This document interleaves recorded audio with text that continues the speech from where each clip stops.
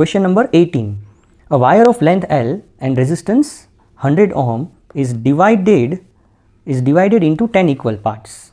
Right. So, we know that uh, the R is equals to rho L by A. So, R is proportional to length.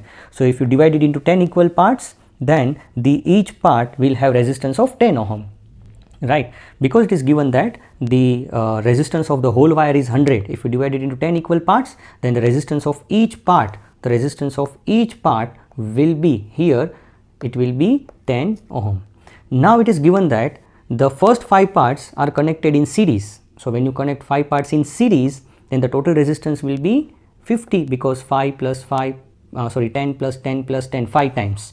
So it becomes 50 the next 5 parts are connected in parallel. So, for parallel combination the resistance of the uh, one divided by the number of resistors connected in parallel. So, each has 10 ohm, each wire is of 10 ohm and there are 5 resistors. So, it will become 2 ohm.